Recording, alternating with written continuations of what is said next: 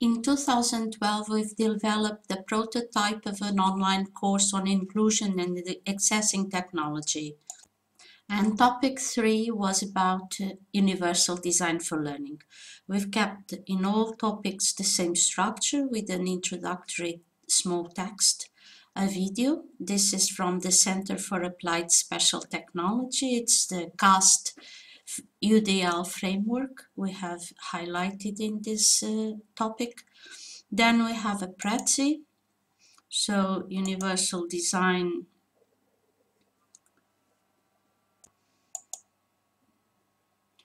Uh, what is UDL? Uh, framework for guiding educational practice, identifying and removing barriers from teaching methods and curriculum materials.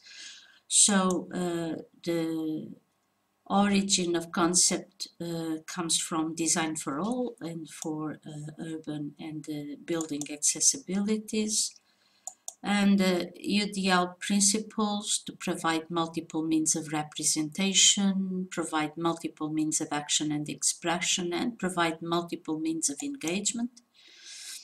Then uh, about uh, class participation, to move from read, listen, write, speak, manipulate, calculations, remember concepts and remember procedures to taking information, express information, demonstrate understanding of processes, demonstrate understanding of concepts and the ideas, show what they know through personally accessible formats.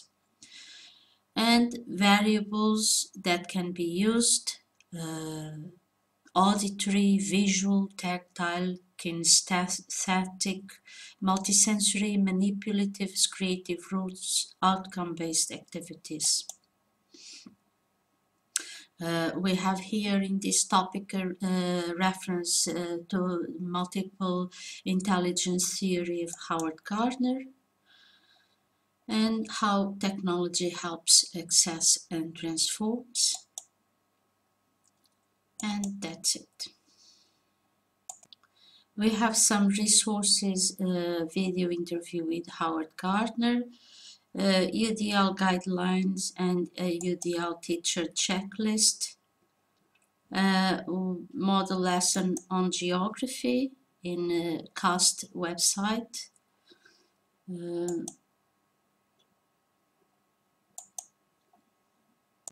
a link for the TES website about special needs teaching resources that are here in categories.